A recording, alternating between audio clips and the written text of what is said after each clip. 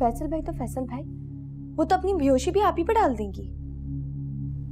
पता नहीं किन गुनाहों की सजा मिल रही है हमें? नहीं होने की लेकिन अम्मी अब क्या होगा? क्या मतलब? मतलब ये कि फैसल भाई पे फालज गिरे। अब क्या आप ही सारी ज़िंदगी उनकी खिदमत करती रहेगी? मकसद क्या है तुम्हारा ये बात करने का है? अम्मी अब आप देखिएगा। वो फ़ौरन रुखसती के लिए राज़ी हो जाएँगी। अगर वो खुद बच गई तो।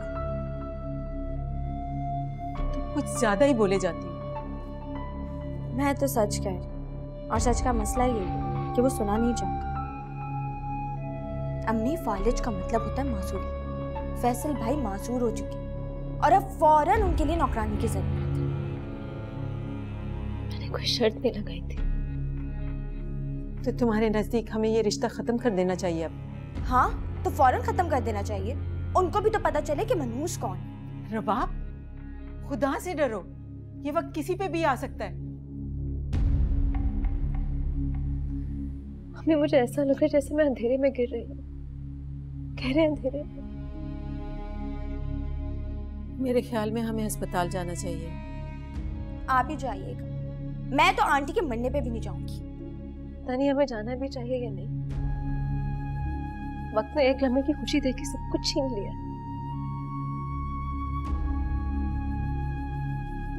हमें इस वक्त वहाँ होना चाहिए।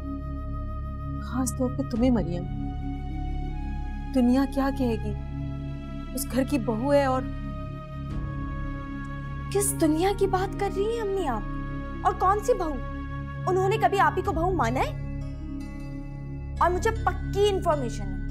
पूरी दुनिया जहाँ में गाती फिरती है कि मेरा फैसल कुंवारा है। हमें उन्हें नहीं खुद को देखना है।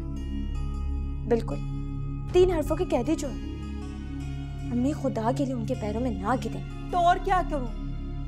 लड़की वाली हूँ तुम अभी घर बैठी हो।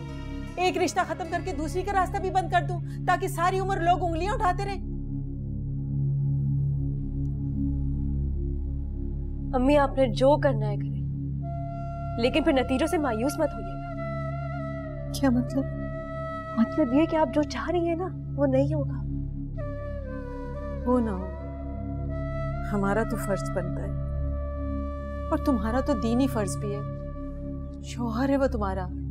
बीमार भी है। तुम्हें तो इस वक्त खिदमत करनी चाहिए उसकी। तैयार हो जाओ। हमें जाना है वहाँ।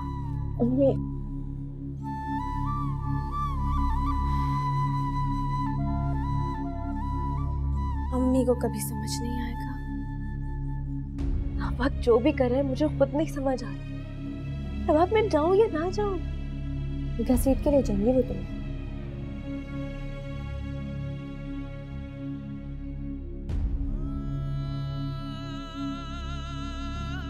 मरियम आके तैयार हो। जाओ पैगाम आ गया तुम्हारे लिए।